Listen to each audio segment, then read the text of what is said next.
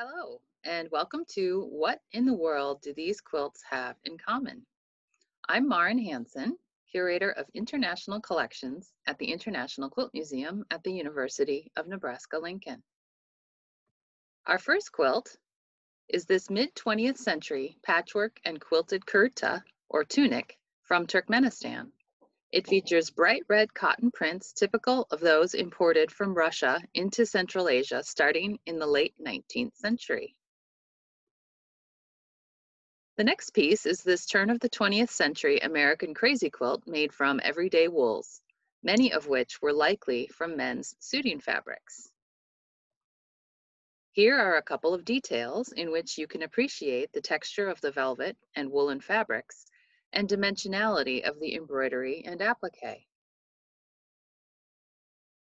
But what do these pieces from very different times and places have in common?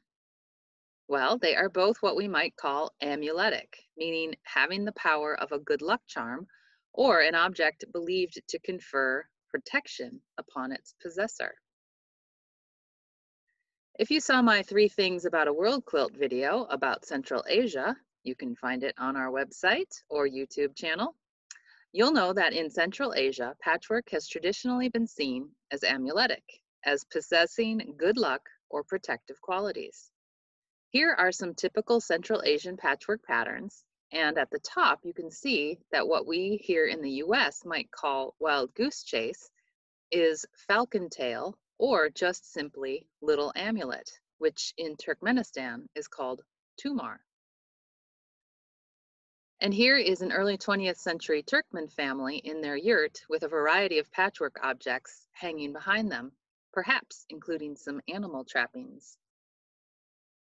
Our kurta features several of the common patchwork patterns, including tumar, or little amulet.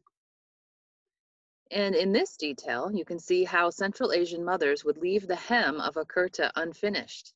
This was so that the garment wouldn't symbolically stunt the child's growth. They believed the loose hem would allow the little one to keep growing and stay healthy.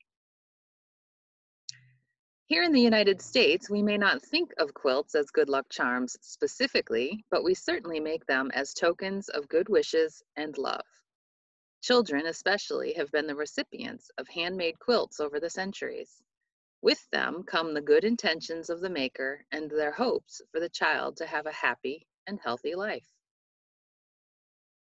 The importance people have placed on quilts made for children can be seen in these two late 19th century photographs in which a crazy quilt is the chosen object to grace a family studio portrait and a snapshot of a girl with her favorite doll.